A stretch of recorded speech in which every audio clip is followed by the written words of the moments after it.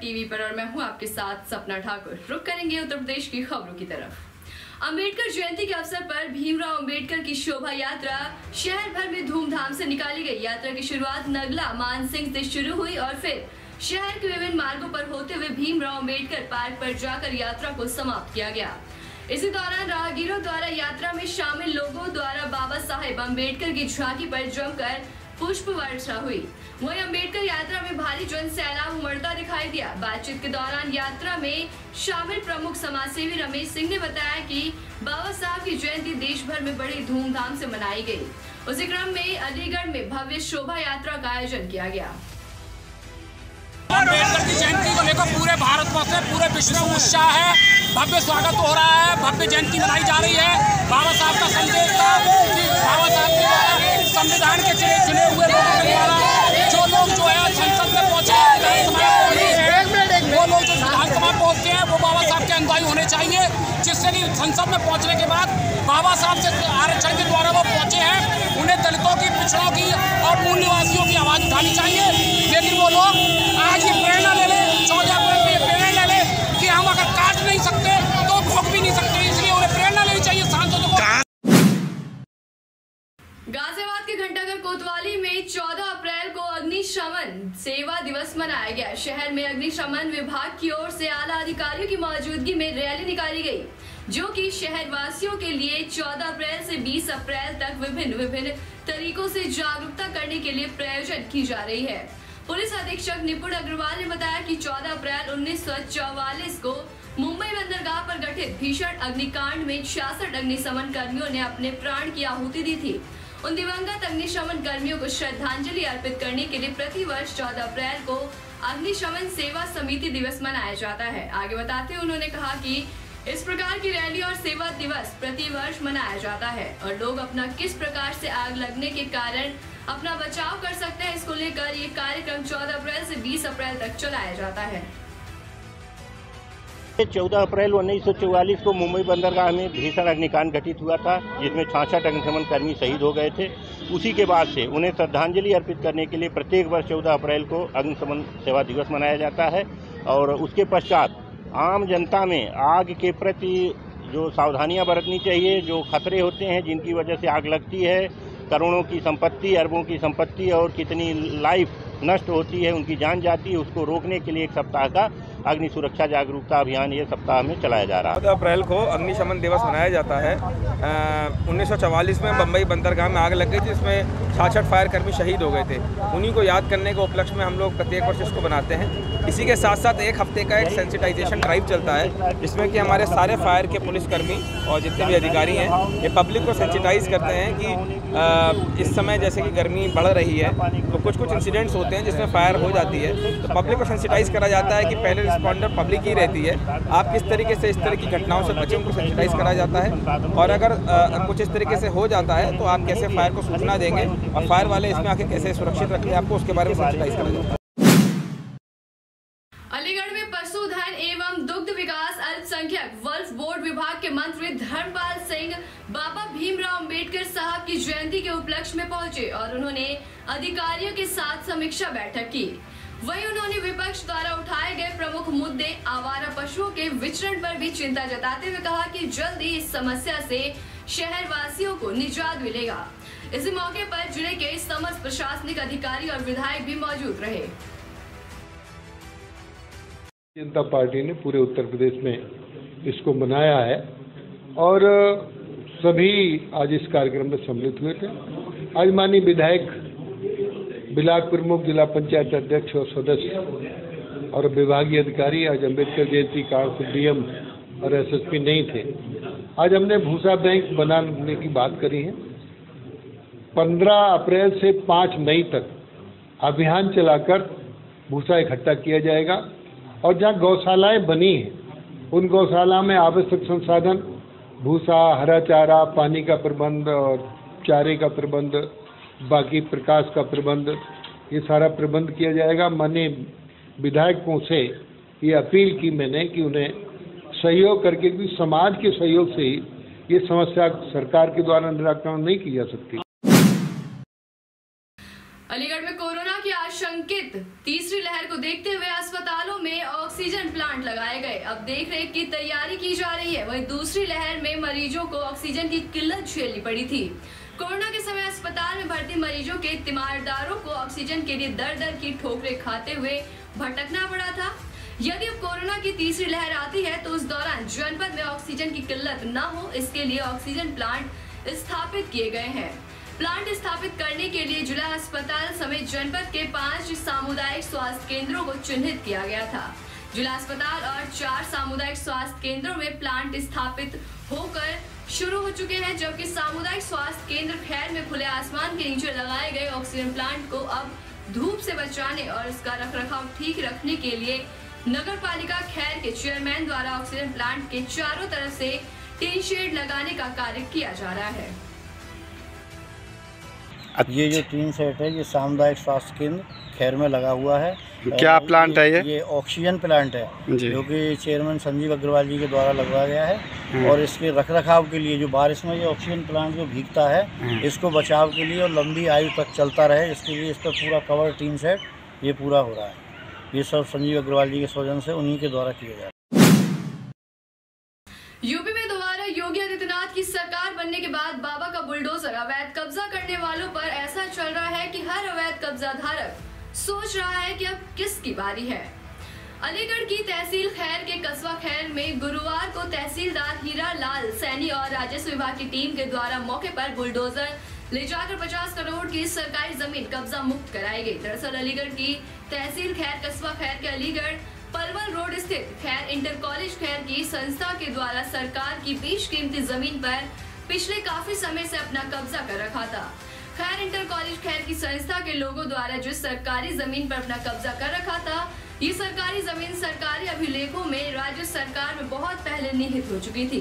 राज्य सरकार में सरकारी भूमि निहित होने के बावजूद भी इस सरकारी भूमि पर खैर इंटर कॉलेज खैर ने जबरन कब्जा किया हुआ था। खैर कस्बे के जो है गार्डन नंबर तेरह सौ बावन जो लगभग बत्तीस बीघे है उसर के खाते की ज़मीन है जो है जी। इसको राज्य सरकार में निहित हो चुकी है। पहले खैर इंटर कॉलेज खैर के नाम से थी जो है जी। इस पर आज इस पर जो है कब्जा लिया जा रहा है। अच्छा ये लगभग कितनी जगह होगी और कितने पैसे की होगी? लगभग बत्तीस बीघे है। उसी सरकारी मालियत लगभग पचास करोड़ की होगी जो है। अच्छा इस पर अब तक किसका कब्जा था? कब्जा खैर इंटर कॉलेज खैर का जो है चला रहा था जो है। जी। उन्होंने स्वेच्छा से अपनी चाबी दे दी है जो है। आज जैसे भी चलवा करके इसको जो पेंट करा करके अच्छा अब हमारे कब्जे में कितनी ज़मीन है? लगभग बत्तीस बीघे जो है। कहते हैं देश की खुशहाली का रास्ता गाँव से होकर गुजरता है लेकिन अगर वही ग्रामीण गाँव के विकास को लेकर परेशान हो तो आखिर विकास कहाँ से उत्पन्न होगा? गाँव में जगह जगह जल भराव की किल्लत से पूरा गाँव परेशानी से जूझ रहा है। पढ़ने वाले बच्चों से लेकर राह चलते राहगीर भी जल भराव की समस्या से जूझते नज़र आ रहे हैं। ग्राम प्रधान पर ग्रामीण आरोप लगा रहे हैं तो वहीं दूसरी ओर ग्राम प्रधान का दावा है कि गाँव में ग्रामीणों द्वारा ही जल भराव की समस्या को बढ़ावा दिया जा रहा है। प्रधान ने कहा कि कुछ दबंग किस्म के लोगों द्वारा गलियों में मिट्टी डालकर पानी को रोक दिया जाता है। मैं ऐसी का प्रधान हूँ, इसलिए मेरी प्राधानी को छुड़वाने का प्रयास हो जा रहा है। उन्होंने गलियों में पानी भरा है, कीचड़ से नालियाँ अड़ी पड़ी गिट्टियाँ वही इन्हें जाम कर देती है। तो इसी पर अपनी दबंगई दिखाकर ये ग्राम प्रधान पे अपना रोष दिखा रहे हैं, क्योंकि ग्राम प्रधान ऐसी कास्ट के हैं तो उनसे उनकी प्रधानी छुड़वाने की कोशिश की जा रही है। हम हमारे निकलने के लिए रास्ता नहीं है, हमारी चक्की लगी हुई है, गाँव परेशान है, हम भी परेशान हैं। आगे हमारी पाँच बीघा ज़मीन है, पाँच सात साल तो वो बंजर पर ही है, पानी ज़बरदस्ती दे रखा है। प्रधान दबंग है वो काम नहीं करना चाहता है। यही कह देता जो चाहो सो कर लो। मामला साहब आप देख ही रहे हो जल भर रहा है जनता परेशान है निकलने के लिए। और मैं- और जो है प्रधान जी ने तो बहुत ज़्यादा जो कोशिश भी की। आज सादा एस साहब के पास भी गए हैं और इनका एडीओ साहब के पास भी गए हैं और इन्होंने नाली भी खुदवा दी है बट आगे को पानी नहीं निकलने दे रहे लोग। क्यों? ये तो उनकी मानसिक पता होगा कैसे नहीं निकलने दे रहे। क्या कहेंगे ये तो साहब मैं एसी का प्रधान हूँ। यहाँ दबंग लोगों ने सारी पानी रोक रखा है। मैं एसी का प्रधान हूँ। साहब पहले से पानी बीस साल से यहाँ चल रहा है। कोई नहीं रोका, रास्ता है। मैंने कल खुलवाया, पुलिस आई है कल। पुलिस के आगे गाड़ी रुकवाया जे मशीन आई है। मशीन से चलवाई है, तीन ठिया खुलवाया पानी मैंने। आगे खुलवा दिया है पानी है तो का है।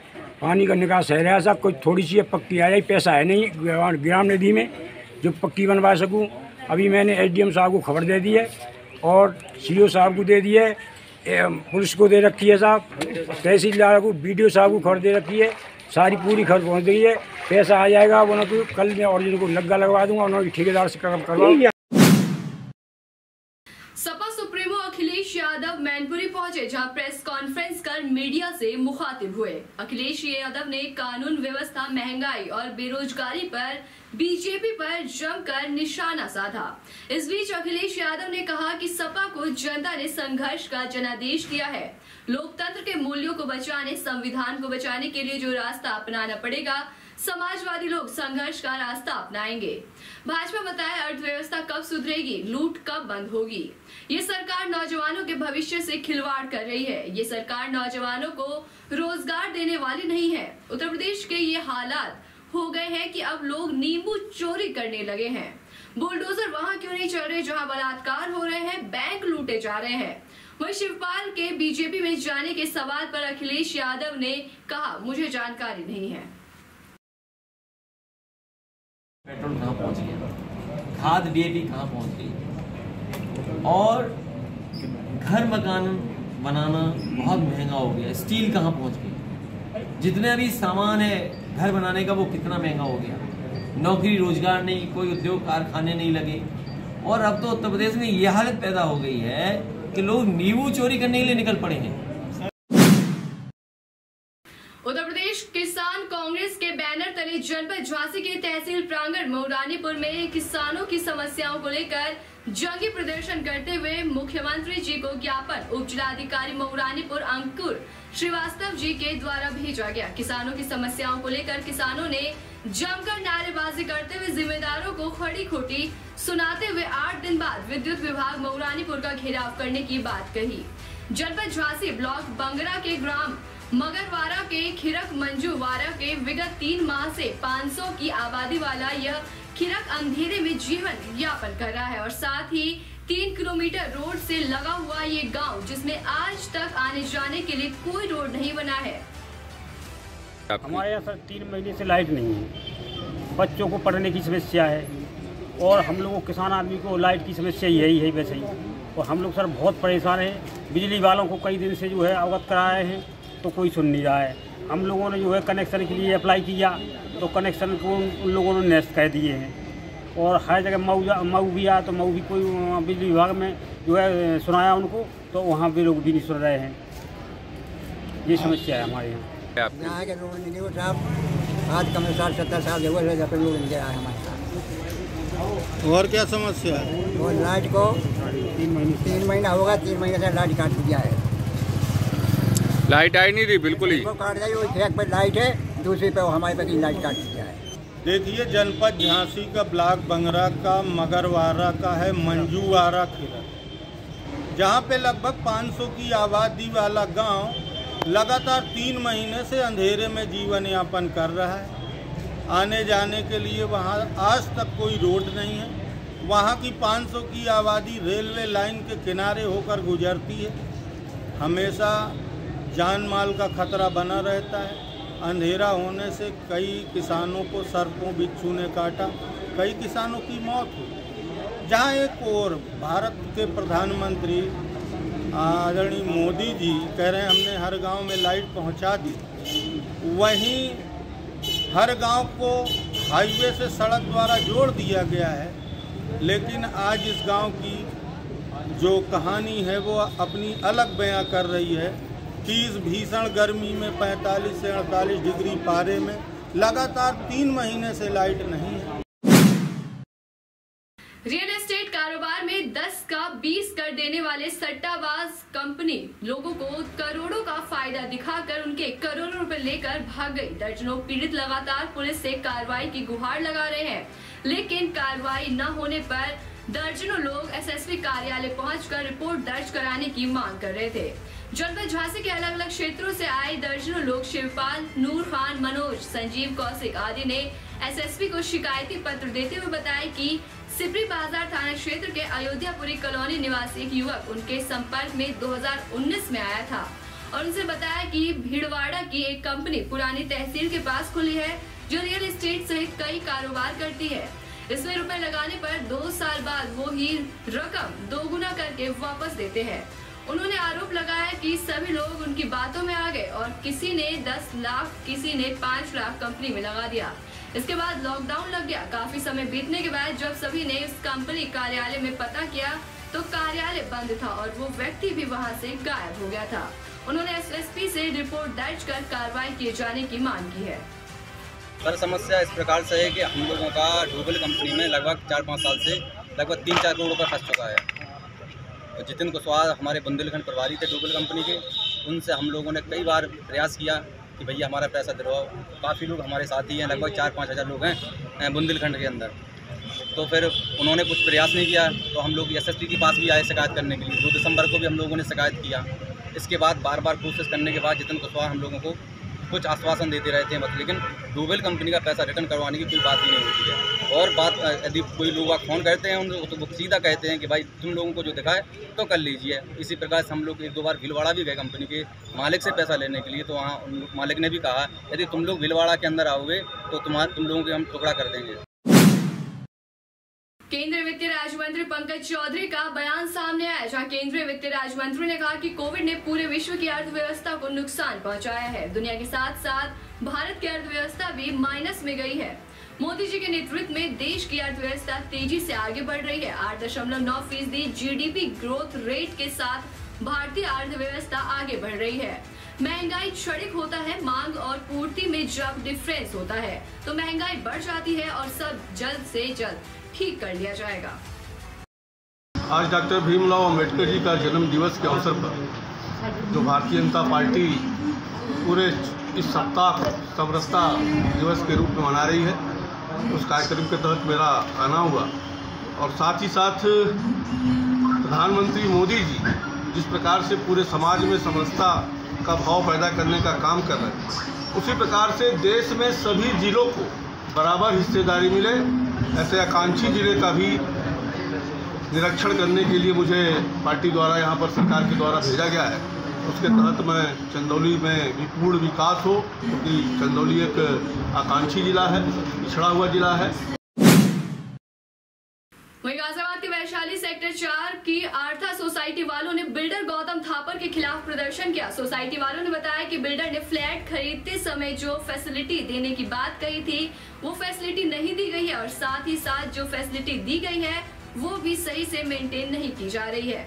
जबकि मेंटेनेंस चार्ज समय से दिया जा रहा है। सोसाइटी वासियों ने बताया कि उन्होंने बिल्डर के खिलाफ जीडीए में भी कंप्लेंट दी, लेकिन अभी तक बिल्डर के खिलाफ कोई भी एक्शन नहीं लिया गया। पानी का टीडीएस आरओ से भी नहीं हो रहा है कंट्रोल सोसाइटी वासियों ने बताया कि वाटर सप्लाई का टीडीएस इस हद तक बढ़ा हुआ है कि आरओ से भी कंट्रोल नहीं हो पा रहा है। सोसाइटी वालों को पीने के लिए पानी की व्यवस्था बाहर से करनी पड़ती है और अगर सोसाइटी का पानी पी लिया जाता है तो उससे लोगों की तबीयत भी खराब हो जाती है। हम पिछले डेढ़ साल से यहाँ पर रह रहे हैं। बिल्डर के बिल्डर को हमने एक साल का एडवांस मेंटेनेंस भी पेड कर दिया था। लेकिन आज तक ना तो यहाँ पर किसी तरीके की एम्यूनिटीज़ बिल्डर द्वारा प्रोवाइड की गई है। पूरी बिल्डिंग में सीलन की स्थिति बहुत ज़्यादा ख़राब है। एक बार भयंकर तरीके से आग लग चुकी है इस बिल्डिंग में। उसके अलावा सीलन ने पूरी बिल्डिंग को हर फ्लैट को डैमेज किया हुआ है। बच्चों के लिए प्ले एरिया है ही नहीं यहाँ पर। बिल्डर कहता है, मैंने कमिटेड ही नहीं किया था। झूठ बोलता है सारी चीज़ें। स्विमिंग पूल है, वो अभी भी ख़राब पड़ा हुआ है। छत पर छत पर ऊपर क्लब हाउस बनाया था, टेरिस गार्डन बनाया था, वहाँ कुछ भी नहीं है, सब नेकेट पड़ा हुआ है। आज तक बिल्डर ने कोई भी काम नहीं किया है। ना ही बिल्डर से हम बार बार काम करने के लिए बोल रहे हैं, वो भी नहीं कर रहा है। हम उसको हैंड ओवर के लिए प्रोसेस बोलते हैं हैंड ओवर भी नहीं दे रहा है एओए टीम को। आज छः महीने से ज़्यादा हो चुका है टाइम हमारे को ए की टीम बने हुए। उसमें भी अभी तक वो हैंड के लिए कुछ भी नहीं बोल रहा वहीं दो दिवसीय दौरे पर उपराष्ट्रपति वेंकैया नायडू वाराणसी पहुँचे हैं। प्रोटोकॉल के मुताबिक उपराष्ट्रपति वेंकैया नायडू शाम को अयोध्या से निजी ट्रेन से बनारस स्टेशन पहुँचेंगे। वहीं उपराष्ट्रपति के साथ यूपी के राज्यपाल आनंदीबेन पटेल और डिप्टी सीएम ब्रिजेश पाठक भी होंगे। बनारस स्टेशन पर उपराष्ट्रपति वेंकैया नायडू की अगवानी करने के लिए ज़िले के मंत्री और विधायक भी मौजूद रहेंगे। बनारस रेलवे स्टेशन के सीधी बरेका गेस्ट हाउस में विश्राम करेंगे और वही गंगा की लहरों के बीच क्रूज द्वारा दशाश्वमेघ घाट पर दैनिक गंगा आरती में भाग लेंगे। उसके बाद उपराष्ट्रपति के आने से पहले गंगा घाटों को फूल मालाओं से सजाया गया है। सुरक्षा के भी पुख्ता इंतज़ाम किए गए हैं। यहाँ तक कि परिंदा भी एक पर नहीं मार सकता। गंगा आरती देखने के बाद वो फिर से बरेका गेस्ट हाउस लौट जाएँगे। वहीं राज्यपाल और डिप्टी सीएम सर्किट हाउस में रात में प्रवेश करेंगे। वाराणसी के राजा तालाब के कचनार, रानी बाज़ार और परसुपुर में विगत दो साल से पानी की आपूर्ति बंद है। भिखारीपुर में संचालित जल निगम के ओवरहेड से दूसरे ट्यूबवेल को मोटर विगत दो साल पहले जलने से यहाँ पेयजल की रफ्तार धीमी रहने के कारण हर दिन लोगों को पीने के पानी की समस्याओं से जूझना पड़ रहा है। भीषण गर्मी में भूगर्भ जल स्तर काफ़ी नीचे चले जाने से पानी के बिना जल जीवन अस्त व्यस्त होकर रह गया है गाँव के लगभग सभी सरकारी हैंडपंप सूख जाने के कारण यहाँ दिक्कतें पैदा हो गई हैं। फरियाद के बाद भी जल निगम समस्या के प्रति सक्रिय नहीं है, जिससे समाधान नहीं हो रहा है। हालाँकि क्षेत्र के निजी समर समरसेवल से पानी देकर नागरिकों को राहत पहुँचाने का कार्य किया जा रहा है और दूसरे के समरसेवल के भरोसे किसी तरह पानी का जुगाड़ कर यहाँ के ग्रामीण अपनी ज़िंदगी जीने को विवश है। आए दिन ट्यूबवेल में तकनीकी दिक्कतों के चलते क्षेत्र में पानी की किल्लत पैदा हो जाती है। प्यास बुझाने के लिए लोगों को घंटों तक इंतज़ार करना पड़ता है और पानी के लिए लड़ना पड़ता है। पानी की समस्या बहुत ज़्यादा है। से पानी सप्लाई आ रही है? नहीं करीब डेढ़ दो साल से नहीं आ रही है। कहाँ से पानी मिल रहा है? वही मोहल्ले के एक लोग हैं उन्हीं के यहाँ से सुबह सब लोग भरते हैं समर सेबुल उनके यहाँ है उनके यहाँ से हम लोग पानी लेकर आते हैं। निगम लगने के बाद भी पानी नहीं मिल रहा है। क्या हाँ। क्या गड़बड़ी है? उसका मोटर वोटर जल गया होगा कहीं फॉल्ट है मोटर जल गया है। पहले पानी आता था। पहले आता था हाँ। मोटर की खराबी से पानी नहीं आ रही। हाँ जी मोटर सरकारी हैंडपंप लगे हैं। नहीं। नहीं? नहीं। इसी तरीके की तमाम बड़ी खबरों के लिए देखते रहिए राजपट टीवी। सबसे पहले भारत। अब आप अपने पसंदीदा चैनल राजपीट टीवी को देख सकते हैं पसंदीदा ओ टी टी प्लेटफॉर्म पर। Dailyhunt Rock TV M X player I two I E Baba Vodafone TV Jio TV Jio Fiber box Paytm TV I P TV Galaxy Fastway I P TV और Rock Q TV पर।